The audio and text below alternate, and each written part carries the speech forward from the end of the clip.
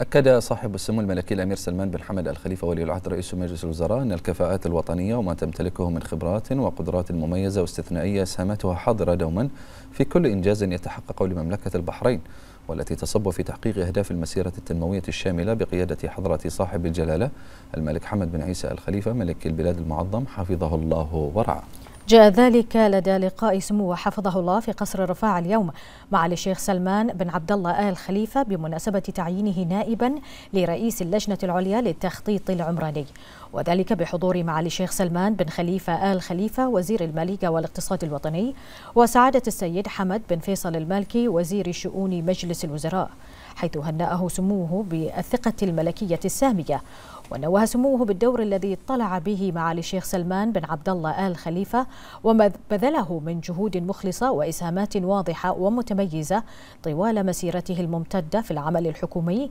من خلال المناصب التي تبوأها والتي أسهمت في تعزيز القطاع العقاري وتبني المبادرات والمشاريع النوعية التي تسهم في مواصلة تطويره والتي كان نتاجها إنجازات نوعية تحققت للقطاع العقاري ومنها تحديث التشريعات وتوفير البيئة التنظيمية المؤسسية الداعمة للقطاع إلى جانب جذب الاستثمارات لهذا القطاع الهام وتنظيم المؤتمرات والمعارض الدولية.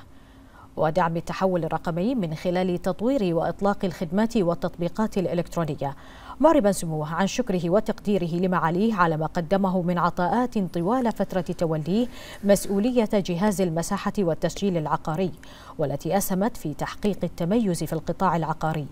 متمنيا له دوام التوفيق والنجاح في مهام عمله المقبلة.